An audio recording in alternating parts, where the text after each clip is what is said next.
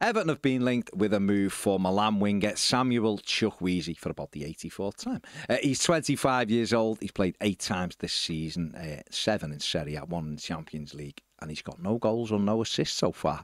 He is actually a decent winger, though. He's quite quick as well, which is something Everton are looking to address a right winger with pace.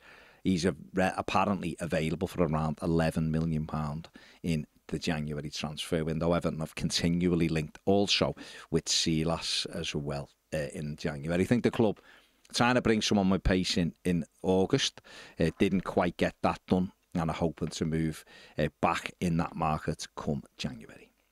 Jarrad Branthwaite, Nathan Patterson, and Vitaly Mykolenko are all back in full training ahead of Everton's trip to Ipswich Town this weekend. However, the Toffees could be missing uh, James Garner for a few weeks.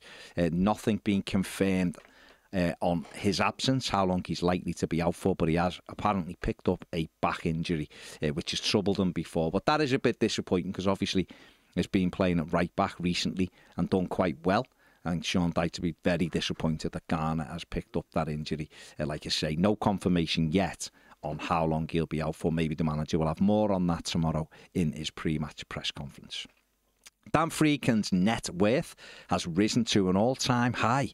Is, uh, it's risen by 77%, apparently. Uh, Friedkin's personal wealth last year stood at around $4.3 billion, now stands at 6.4 billion, placing him 393rd on the Forbes Global Rich List, which is very nice. Uh, some of that obviously being spent on Everton. Uh, and former Everton graduate Isaac Price scored his first career hat trick last night as Northern Ireland beat Bulgaria 5 0 in the Nations League. He becomes the first ever Everton graduate to score a hat trick at international football absolutely tremendous feat. Brilliant for uh, brilliant for Price there. He's obviously playing in Belgium now, but uh, tremendous achievements for anyone at any time to get an international hat trick. And finally, former Everton goalkeeping coach Alan Kelly has revealed that it wasn't his decision to leave Everton. Uh, he revealed that after his uh, surgery, he was looking forward to getting back to work at Everton. But Sean Dyche had replaced him with Billy Mercer, who apparently had come in on a short term deal.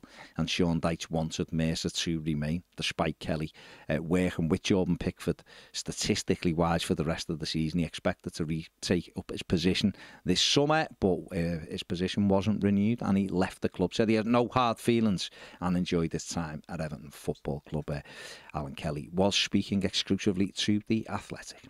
That is it for the news daily. Make sure you give the video a thumbs up and subscribe to the channel if you haven't already. Don't forget, check out the latest 1878 FM podcast. It's out there now.